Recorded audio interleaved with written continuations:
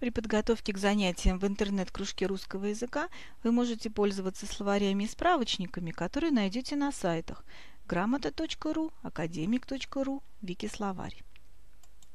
Давайте с вами вспомним, что синонимы – это слова одной и той же части речи, одинаковые или близкие по смыслу.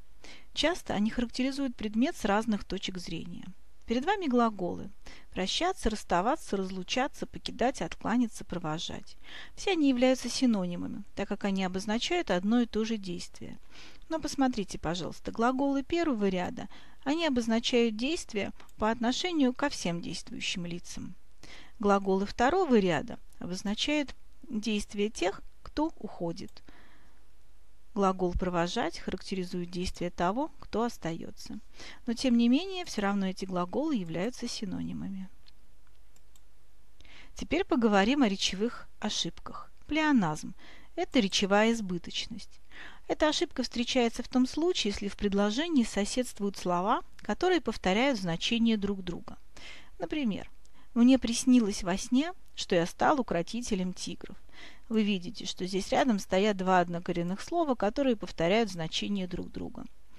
Плеоназм можно исправить двумя способами. Например, мы оставляем глагол, убираем существительное в падежной форме. Мне приснилось, что я стал укротителем тигров. Либо вторым способом исправляем. Мы заменяем глагол, оставляя существительное в падежной форме.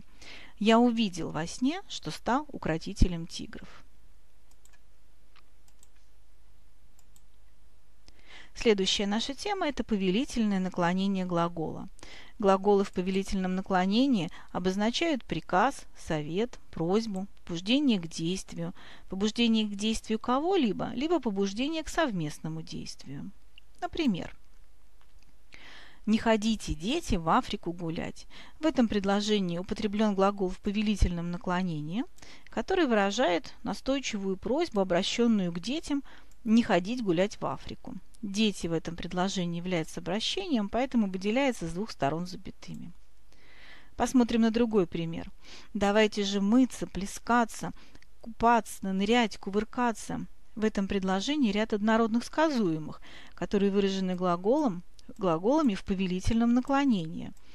И э, повелительное наклонение этих глаголов, оно образуется с помощью вспомогательного глагола «давайте». Вот этот глагол употреблен в форме множественного числа, и он как раз выражает побуждение к совместному действию.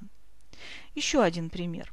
Пусть всегда будет солнце. В этом предложении также есть глагол в повелительном наклонении пусть будет, который образуется с помощью частицы пусть. И еще один пример. Скажи-ка, дядя, ведь недаром глагол в повелительном наклонении скажи-ка образуется с помощью частицы «к», которая пишется через дефис.